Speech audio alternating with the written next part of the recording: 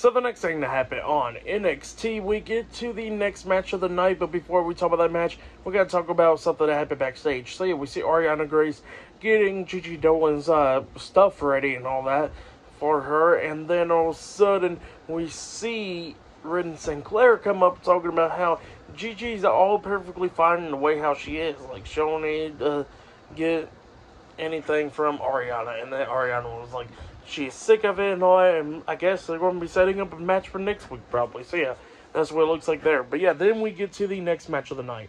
Lola Vice versus Karmen Petrovic with Natalya at ringside. In this match, it was a good one. Uh, we see Karmen Petrovic try to do everything that she could do to try to pick up the win.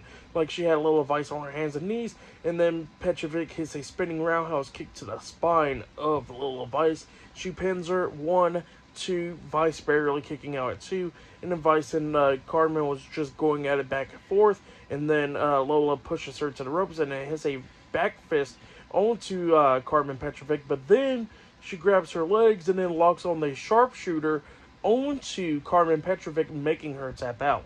So yeah, Lola Vice defeated Karmen Petrovic tonight in a one-on-one match, and Natalya gets in the ring checking on Karmen. So yeah, that's what happened there for that match and everything. I'll give it two and a half stars. What I'll give it. But yeah, uh, that's what happened there. And up next, we're going to be seeing Noam Dar and Meta-Four hosting um, Supernova Sessions up next with their special guests Lyra Valkyria and Roxanne Perez up next on NXT. So yeah, that'll be happening up next.